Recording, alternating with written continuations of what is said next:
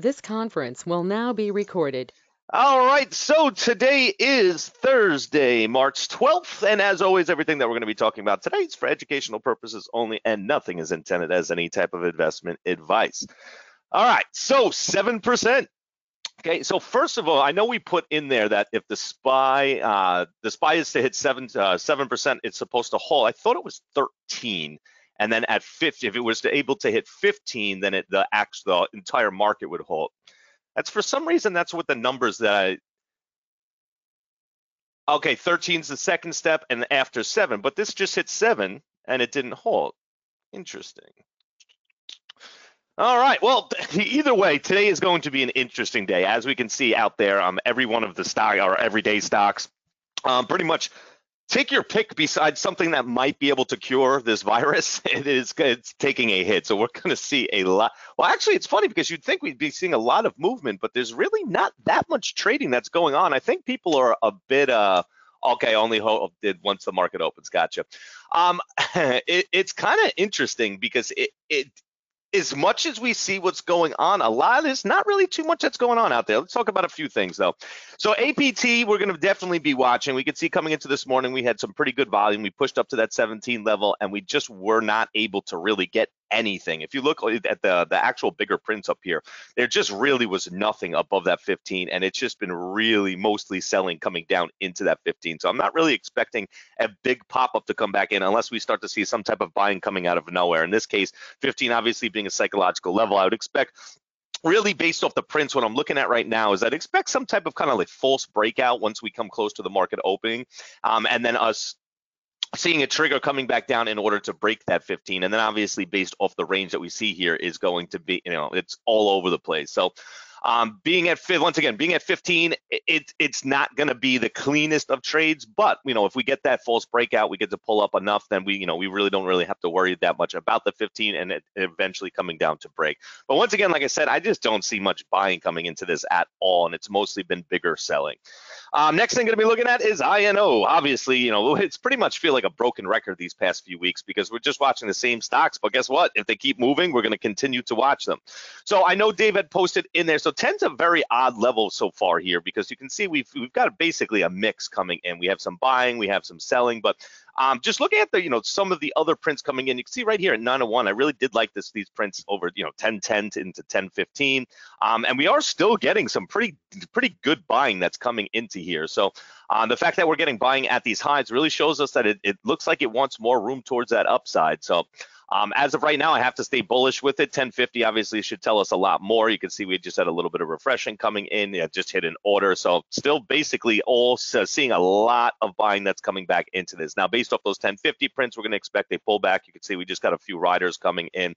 Um, and then from that pullback, we're really going to, you know, once again, if it's holding above 10 this well, um, it, it's showing that we still have a lot of room towards that upside.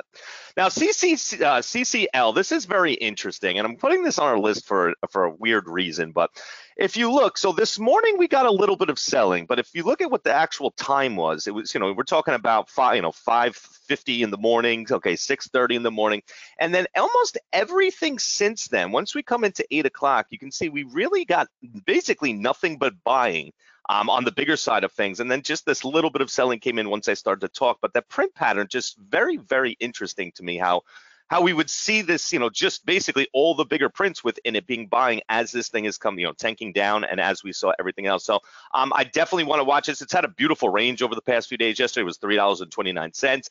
Um, you know, on average, dollar thirty-eight, but we're going to be expecting a lot more. I know that they, uh, who I forget who posted it, but they they're canceling a lot of their crew or, or canceling their cruises um, which is um, this is it's not only going to affect you know the actual day-to-day markets, but think about earnings for a lot of these companies. When their next earnings come up, there's going to be a lot of bad, you know, a lot of negative things that are going to be, you know, a lot of negative numbers that are going to be coming out. So that's going to be some interesting time.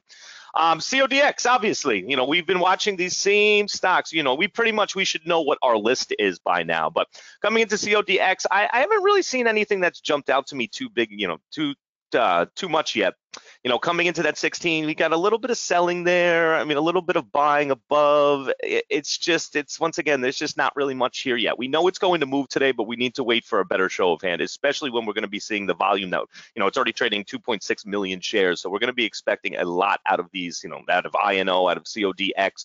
Um, so just make sure that we get that show of hand because these things can get nasty real quick.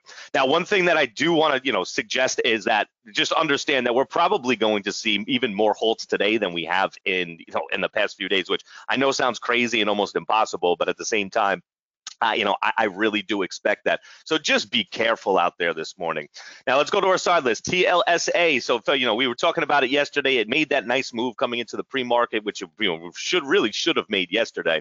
Um, but uh, excuse me, you know, yesterday's move that came back in after we pulled back from there. But once again, I haven't really seen that much in it yet. And if we come near the highs, you can see there's really not that much there. You know, you have a little bit at six and a little bit over. So um, it, it's certainly something to watch based off of the move that we saw coming into it yesterday. But you know, overall, it's it's kind of iffy. A lot of what I'm like I'm seeing out there is just I'm it, there's not that much con- uh, conviction behind really anything that's trading besides the stocks that uh, like INO, like our APT, like our CODX. And just to point out real quick, so you can see the buying that's still coming into this. These are above the aspirins, which didn't help really that much, but still a lot of buying coming to INO. So let's keep let's make sure that we. Uh, that we're paying very close attention to it. Yeah, it's that uncertainty. I mean, still, there's still no answers yet, and I think that's what's really killing the market is because usually, you know, they have like a, a way of spinning things to make everyone feel like it's going to be okay, and they just don't have that right now. I mean, they there's just there's no answers yet, and they're not having those answers. That's what's causing this market right now.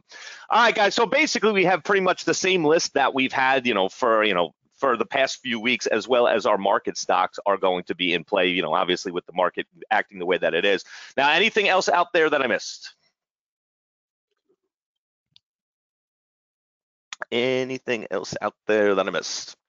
A lot of stuff down, but not as much trading going on out there. People are definitely going to be scared. So, my thoughts on BA. So BA, if I remember correctly, oh, no, it's not as expensive. Um, I don't really have too many. There's not really much here that's showing me anything. I mean, 161.25, you had some decent selling, but it's already, you know, it's already at 160 which this you know this selling right here would tell me that it would be able to break that 160 but i would need to see some type of more selling into there than that one print there so just no real show of hand there yet and then looking over rcl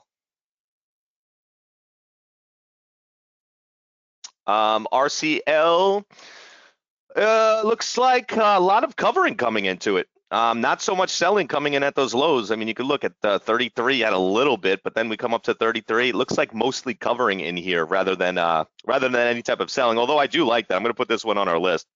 Um, and also BL, uh, excuse me, BA is is extremely discounted right now. I was expecting it to be a lot more expensive, although obviously everything is taking a hit. Um, and can I look at POAI? Uh, yeah, um, definitely. Now let's just take a look at the prints real quick and see if we had anything stands out. Okay, so we had some nice, good, you know, real nice buying that came in at that 350 level. Um, underneath some really nice buying at three. I mean, you know, not as much as you'd like for such a cheap stock, but yeah, I like it a lot.